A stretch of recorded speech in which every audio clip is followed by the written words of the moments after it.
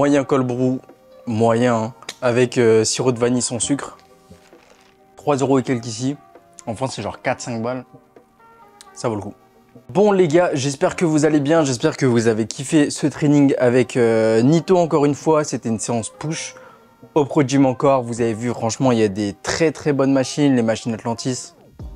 Elles sont magnifiques, elles glissent toutes seules, euh, notamment celle pour le- les pecs, euh, celle allongée. On, il y en a également une euh, inclinée, mais qui n'était pas disponible, mais euh, je l'ai déjà essayé. bref, ça glisse tout seul. Donc là, on se retrouve aujourd'hui pour une Q&A. Donc je vais répondre à vos questions que vous m'avez posées sur Instagram. J'ai posté une boîte à questions et donc c'est le moment d'y répondre tout simplement. Premièrement, on me demande la taille de mes bras. Donc mes bras, je sais pas du tout combien ils mesurent. La dernière fois que j'avais dû les mesurer, ça devait être sur euh, 42 cm, un truc comme ça. Faut savoir qu'en fait mes bras, ils sont surtout balèzes grâce à mes triceps, mais peu avec mes biceps. En fait, quand je contracte, j'ai déjà forcément un biceps court. Et euh, du coup, bah, quand je le contracte, quand je fais un double biceps, j'ai des petits bras. Comparé à quand j'ai le bras collé, où euh, vu que mes triceps prennent énormément de place, et bah ça va coller et euh, bah, ça va me faire des bras énormes. Donc en fait, quand je suis comme ça, que ce soit en prise marteau ou euh, forcément quand je colle mon bras, mes, bras paraissent énormes. Par contre, quand je suis en double biceps, ils paraissent plus petits. Donc euh, oui, je suis pas à 50 cm de tour de bras comme certains ont pu déjà me dire. Euh, c'est pas du tout le cas, faut revenir à la réalité les gars. On est en bodybuilding, surtout bodybuilding naturel. Forcément, il y a des personnes qui vont avoir plus de facilité à avoir des très gros bras, des très gros biceps, ce qui va faire que ça va vraiment rendre huge. Ceux qui ont vraiment des gigantesques pics du biceps, bah ça te fait des bras vraiment énormes et ton tour de bras du coup à ce moment-là va être énorme. Mais euh, je trouve que mes triceps prennent pas énormément de place quand justement je fais mon double biceps et du coup euh, vous voyez mon bras en fait mon triceps il prend tout ça, il prend quasiment tout mon bras. Et donc il me reste juste cette- petite boule euh, qui a du mal à se développer mes biceps. Mais euh, du coup la dernière fois que j'ai mesuré j'étais à 42 cm de tour de bras. J'aimerais bien faire une analyse globale euh, quand je serai vraiment shred de euh, ce que ça donne niveau euh, tour de tout. Euh, forcément, euh, la plupart des gens se mesurent avec du fat, donc euh, ce sera pas vraiment d'équivalence. Mais c'est cool de même pouvoir traquer sa progression au fur et à mesure des sèches, euh, vraiment voir où t'en es, le nombre de gains que t'as fait. Forcément, ce sera très très minime en bodybuilding naturel, mais ça permet toujours de réaliser en fait les gains acquis. J'ai une question sur mes points faibles. Quels sont mes points faibles? Donc pour moi, mes points faibles, comme j'ai dit juste avant, c'est mes biceps. J'ai les biceps, j'ai les ischios également en gros points faibles. Les adducteurs, je les ai pas mal rattrapés cette année euh, avec Alex. On a vraiment essayé de mettre un accent dessus en les faisant deux fois par semaine. Euh, ce que je n'avais pas dans ma précédente prog, je les avais même pas, je crois, si je me souviens bien, dans ma précédente prog. Du coup, on a vraiment mis un accent dessus pour, euh, pour les développer. Euh, j'ai également le upper back, donc c'est le haut du dos que j'avais vraiment en retard, notamment sur mes, également mes trapèzes. Ça, on avait pu s'en rendre compte tout simplement avec la première prep avec Alex, hein, donc euh, on a essayé vraiment de mettre un accent dessus. Et c'est un peu rattrapé pour la plupart, j'ai des meilleurs ischios. Euh, ça reste toujours très minime parce que ça reste toujours un point faible et tu pourras jamais mettre un point faible qui va rendre bien à côté de ton point fort, mais tu peux essayer d'ajuster au mieux et euh, te la donner au maximum vu que j'ai totalement changé ma vision dans l'entraînement, notamment sur les jambes et je me la donne de 40 000 fois plus, forcément sur les ischios ça a également payé. Est-ce que tu cheats toujours une fois par semaine ou plus du tout? Faut savoir que j'ai jamais cheaté une fois par semaine dans les 7 dernières années euh, six dernières années, ça devait être que j'arrive là vers ma huitième année de muscu, euh, huitième année de muscu et dont euh, je sais pas combien focus body, mais assez peu en soi. Avant, je m'entraînais un peu forcément pour le kiff. Et je pense que l'histoire du cheat une fois par semaine, j'ai dû le faire pendant ma première, voire jusqu'à ma deuxième année de muscu. Et après, j'ai totalement arrêté parce qu'en fait, ça sert à rien vu que tu planes ton cheat dans ta semaine, c'est plus un cheat meal ou un cheat day pour certains, c'est quelque chose qui est prévu. Un cheat, c'est vraiment quelque chose qui n'est pas prévu dans, ton, dans, tes macros, dans ton meal plan. Donc vu que moi, euh, à chaque fois, euh, si tu prévois ça, c'est que c'est plus du tout un cheat. Et euh, l'histoire de faire un cheat entre guillemets par semaine, je l'ai totalement basé, je le fais pas du tout. Si j'ai envie de me faire plaisir et d'aller au restaurant, je le fais. Et dans la plupart du temps, ce sera pas vraiment excessif vu que bah tout le reste de l'année, en fait, tu en PDM. Donc, je comprends pas le besoin personnellement de mon point de vue de euh, te défoncer euh, quelque part au restaurant. Juste tu prends ce qui te fait plaisir. Euh, le lendemain tu peux réguler, tu peux baisser un peu plus tes calories ou le jour même. Et c'est une histoire de toi, gestion de tes macros sur ta semaine principalement ou sur 2-3 jours pour ceux qui veulent. Mais c'est juste une gestion personnelle de, de sa bouffe. Donc non, et sinon encore moins maintenant vu que je gère euh, toute ma diète selon mes macros, bah, euh, si j'ai envie de me rajouter par exemple un peu de peanut butter dans ma journée, je le fais et ça, euh, tu peux le considérer comme un cheat peut-être en diète, mais vu que ça rentre dans mes macros, c'est pas un cheat. Là, j'ai une question quand même assez intéressante, c'est comment tu gères ta relation de couple et musculation qui prend aussi énormément de temps. Donc ça, c'est une question ultra intéressante parce que euh, faut savoir que je suis en couple depuis maintenant 5 ans, donc ça fait 5 ans que je suis avec la même personne. Vous l'avez déjà vu euh, dans, des précédentes vidéos. Et euh, au bout de 5 ans, déjà on s'est rencontrés euh, grâce notamment grâce à la musculation. Donc on fait tous les deux de la musculation euh, depuis plusieurs années. Moi ça va faire, euh, comme je vous ai dit, 8 ans. Elle pareil, ça va faire 8 ans. Mais sa vision de la musculation a changé depuis le temps. Euh, comparé à moi où au final je suis encore plus rentré dedans en faisant euh, de la compétition, du bodybuilding.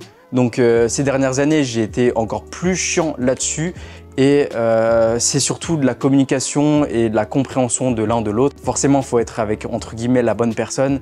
Si la personne avec vous peut vraiment pas comprendre votre passion, ça va être compliqué. Mais si vous arrivez à lui faire comprendre que c'est quelque chose vraiment, bah, justement, qui vous passionne, dont vous voulez vous donner dedans et euh, ça va vous permettre d'atteindre un certain niveau, que ce soit euh, personnel, du dépassement de soi, etc.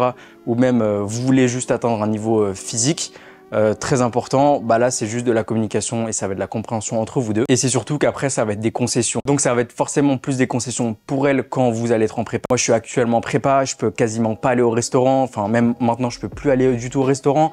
Donc ça veut dire euh, je l'accompagne, ce qui est vraiment relou quand t'es euh, le binôme, hein. quand t'es l'autre personne et t'es à un restaurant, toi tu te prends ta giga assiette avec peut-être un burger ou des trucs comme ça parce que ta relation avec la bouffe et euh, ta prépa doit pas empiéter sur l'autre, et bah c'est très compliqué parce que forcément c'est un moment de partage normalement le restaurant et quand toi tu as juste peut-être un Coca Zéro euh, en face c'est un peu plus compliqué. Donc c'est juste que ça va être beaucoup de communication, bien se comprendre l'un et l'autre et bien comprendre ses objectifs et euh, après si tu fites pas forcément avec l'autre personne ça va être comme je vous ai dit plus compliqué mais euh, c'est juste des concessions. Le reste du temps, quand je suis en off-season, quand je suis pas du tout euh, en mode prépa, bah là, euh, forcément, je vais au resto, je profite au maximum. Le plus important pour tous les sujets, dans toute relation, c'est la communication.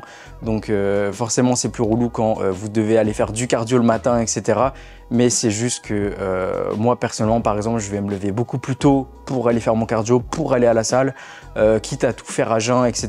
Parce que c'est une histoire d'équilibre avec votre binôme et euh, le bodybuilding, etc. Ça ne doit pas empiéter sur votre relation. Mettez votre relation avant tout.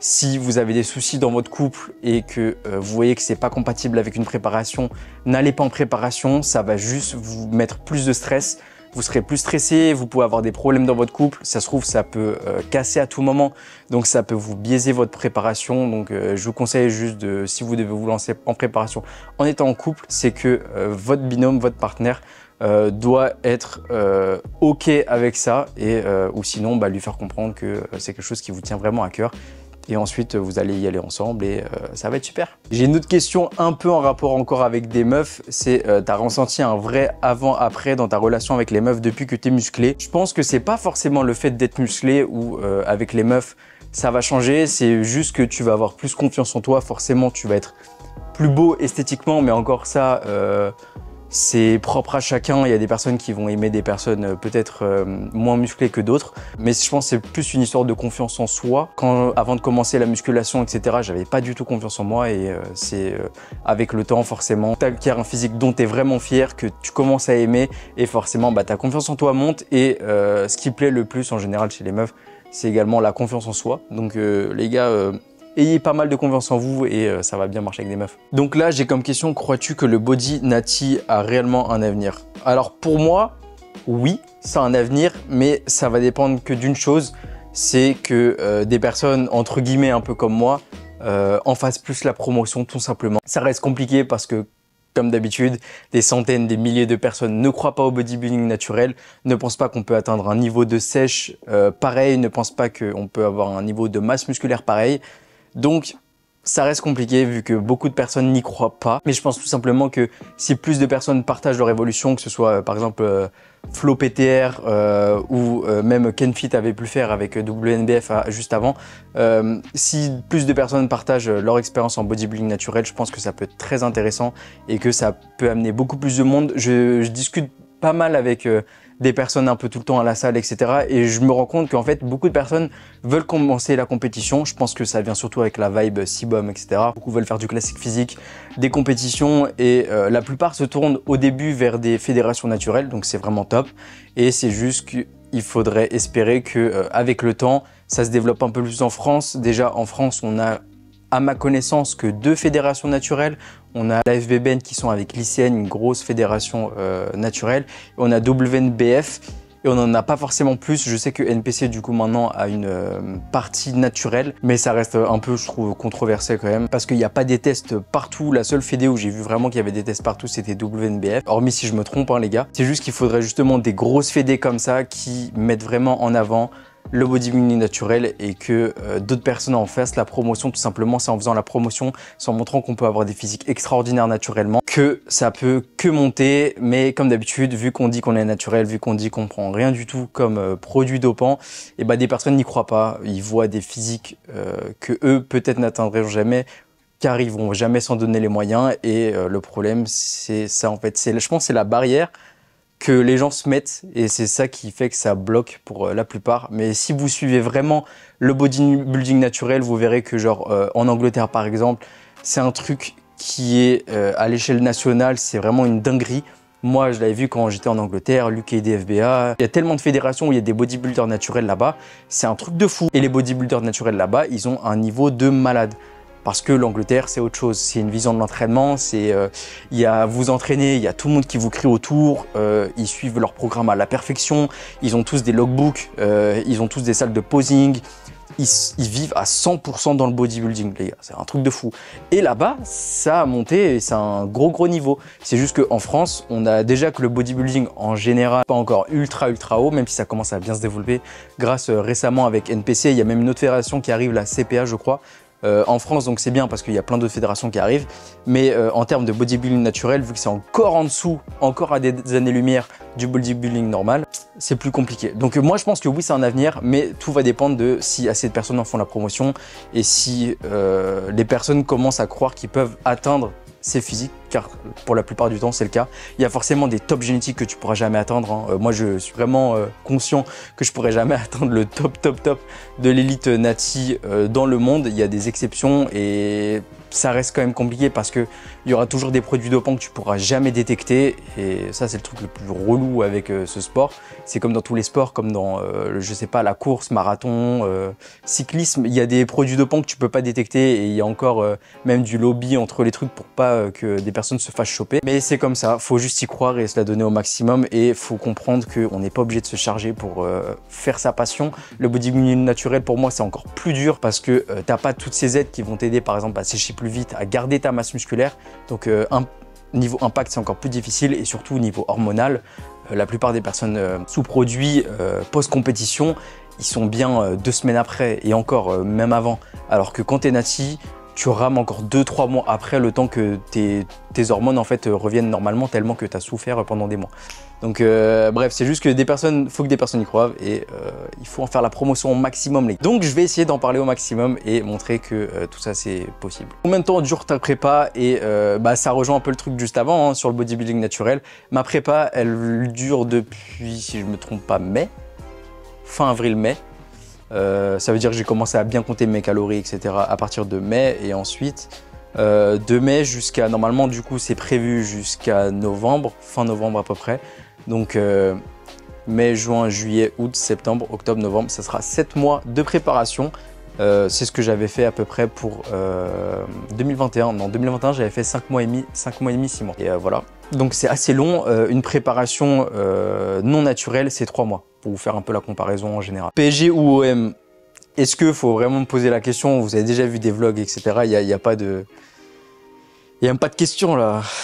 Allez l'OM. Et euh, tu comptes déboucher dans quoi après tes études de commerce? Donc euh, là, j'ai terminé mes études en soi, donc j'ai plus cours, j'ai rendu mon mémoire, euh, j'ai plus rien à faire jusqu'à terminer mon alternance jusqu'à fin septembre. Et juste après, bah, je vais essayer de me consacrer à 100% à la création de contenu, plus forcément, surtout 100% à euh, développer Gangs Club. Donc euh, Gangs Club, c'est la marque de vêtements que j'ai euh, à côté. Je vais essayer de développer au maximum la marque de vêtements et faire également toujours continuer à faire du contenu sur les réseaux. Je sais que la marque me prendra jamais 100% de mon temps sur toute la semaine. Imaginons un 35 heures entre guillemets, même si quand tu es auto-entrepreneur, c'est beaucoup plus en soi si tu veux vraiment ramener des sous, hormis si tu gagnes, euh, si t'es déjà rentier, tu vois.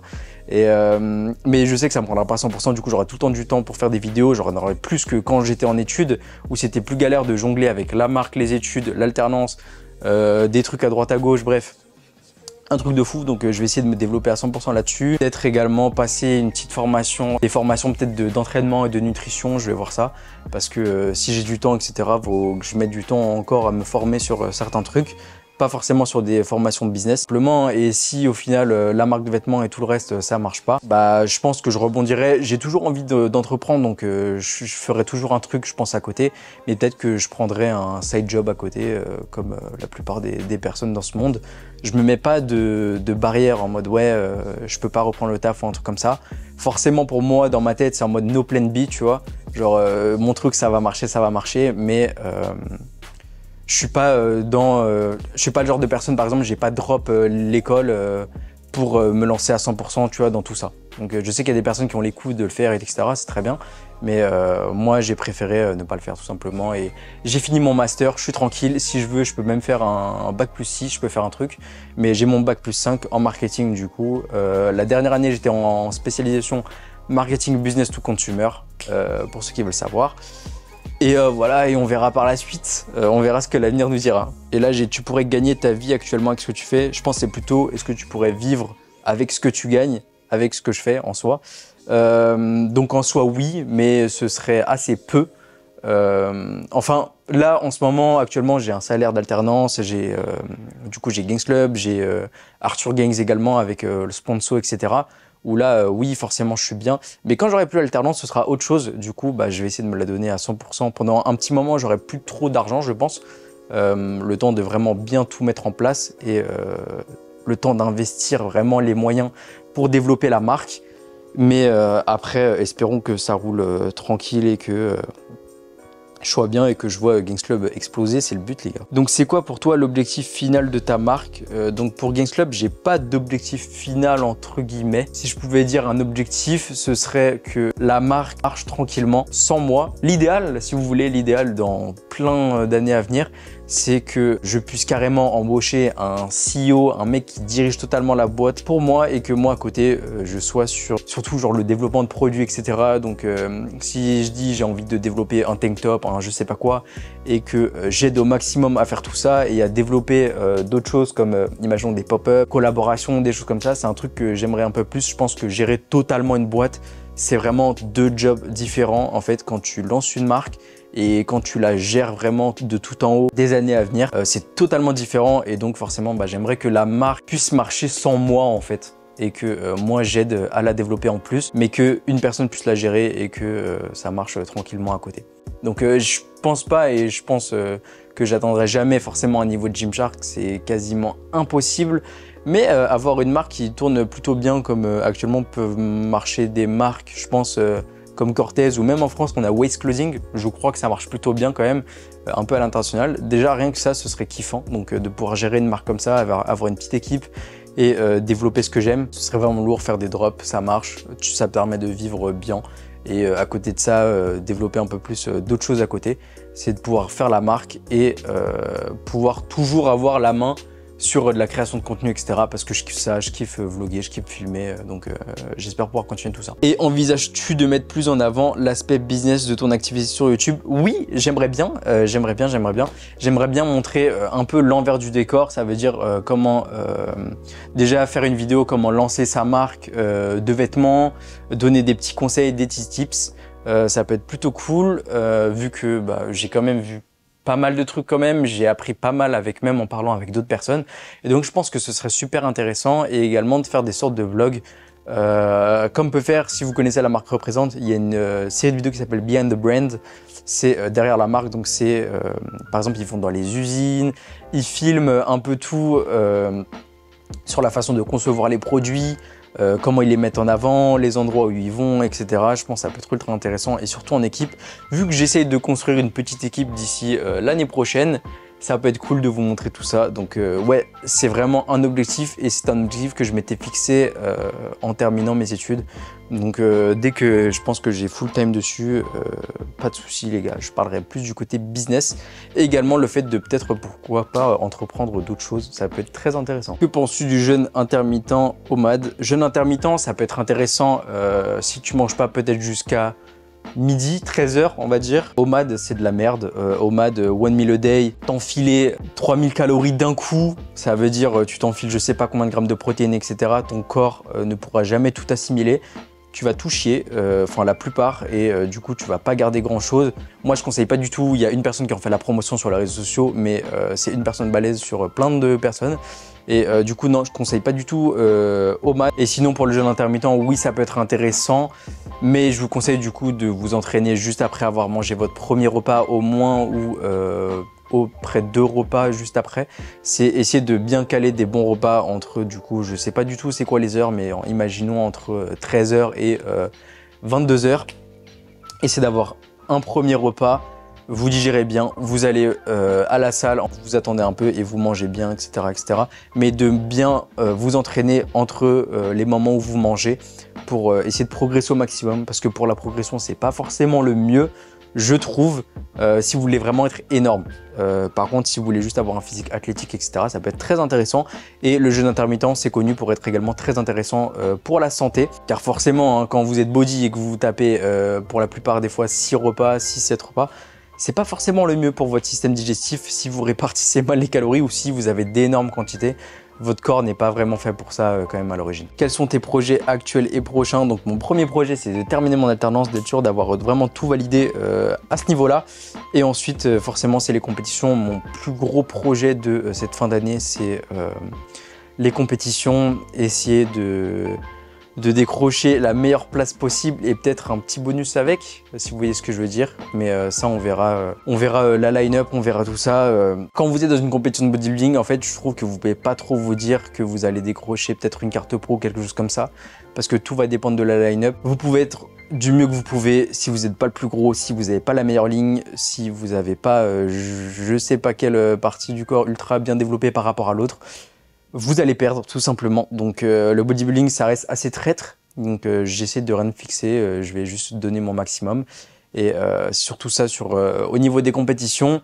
Et ensuite, projet futur, bah let's go hein, les gars, on va essayer de développer au maximum, que ce soit YouTube, Kings Club et euh, voir si je peux lancer d'autres projets à côté. Ah, les gars, il y a juste euh, Stéphane qui vient de, remporter la qualif là pour euh, l'Olympia. Putain, GG gros. Incroyable.